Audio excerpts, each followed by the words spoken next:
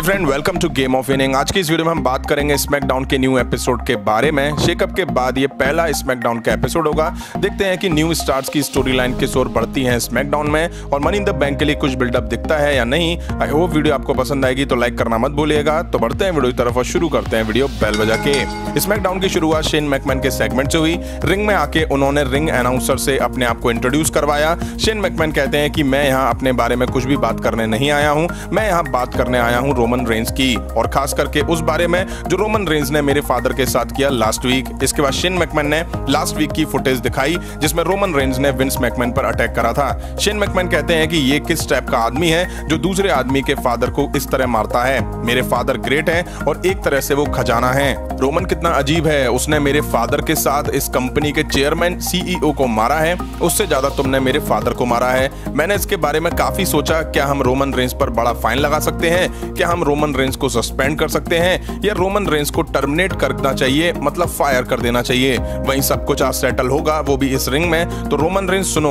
तुम मेरे लिए और मेरी फैमिली के लिए काम करते हो और ये रिक्वेस्ट नहीं ऑर्डर है, बाहर निकलो और रिंग में आओ। तभी एंट्री होती है रोमन रेंज की। शेन मैकमैन और रोमन रेंज दोनों आमने सामने होते हैं। रोमन रेंज माइक फेंकते हैं और ये जताते हैं कि वो यहाँ बात करने नहीं आए हैं। इन दोनों के बीच कुछ होता, उससे पहले अलायस की एंट्री होती है और उन्होंने आके पीछे से रोमन रेंज को मारना चाहा। रोमन रेंज पलटे और अलायस को पंच जड़ दिया। इस, इसका फ़ायदा बिना देरी करे हुए शेन मैकमैन ने उठाया और उन्होंने रोमन रेंज के ऊपर अटैक कर दिया। थोड़ी देर रोमन रेंज पिटे बट रोमन रेंज ने वापसी करके शेन मैकमैन को हिला डाला।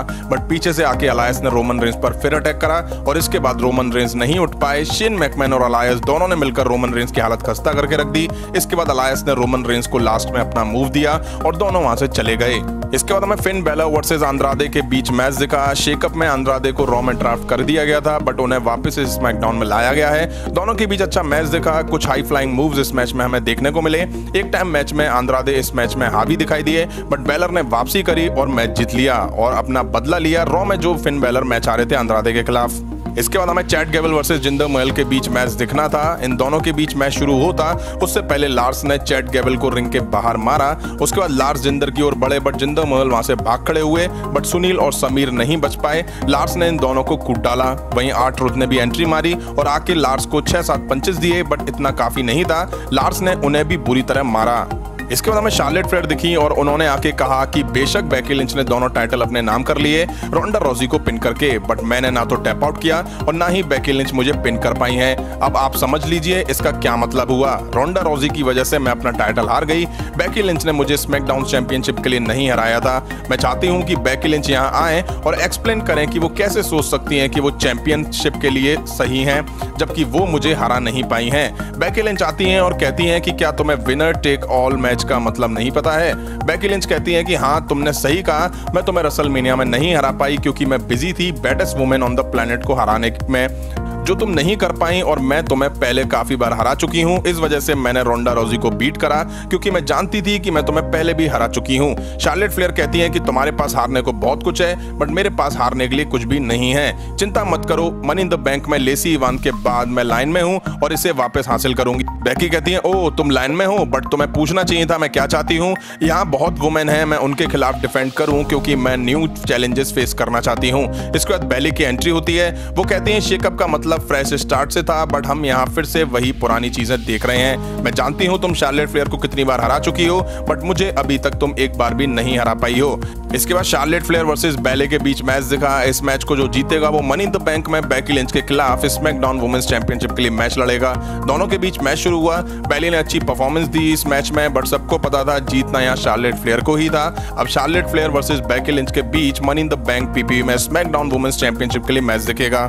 इसके बाद हमें कॉफ़ी किंगस्टन वर्सेस नाकामुरा के बीच मैच दिखा। जेवियर वुड्स और केविन ओवंस अनाउंस टेबल के पास बैठे थे।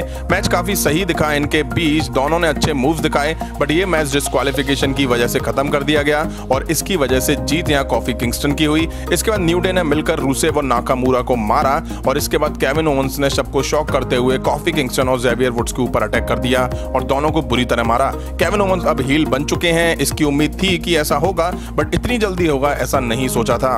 यही आज स्मैकडाउन का एपिसोड खत्म हुआ, इस एपिसोड में ये साफ़ हुआ कि केविन ओवंस और यही आज का स्मैकडाउन का एपिसोड खत्म हुआ, इस एपिसोड में ये साफ़ हुआ कि केविन ओवंस और कॉफ़ी किंगस्टन के बीच शायद आने वाले टाइम में मैच दिखने वाला है। वहीं रोमन रेंस का पाला अब अथॉरिटी से पड़ चुका है और उसमें अलायंस भी अथॉरिटी का साथ दे रहे हैं। वहीं मनी द बैंक पीपीवी में बैकी लिंच रॉ और स्मैकडाउन दोनों टाइटल अलग अलग डिफेंड करेंगी, यानी कि मैच लड़ने वाली है दोनों टाइटल के लिए। कैसा लगा आप सभी को आज का एपिसोड कमेंट करके ज़रूर बताइएगा। फ़िलहाल इस वीडियो में इतना ही। पसंद आए तो लाइक और शेयर करें और इस तरह के इंटरेस्टिंग अपडेट्स के लिए चैनल को सब्सक्राइब करें, बेल आइकन को प्रेस करें। मिलता हूँ नेक्स्ट वीडियो में। Thank you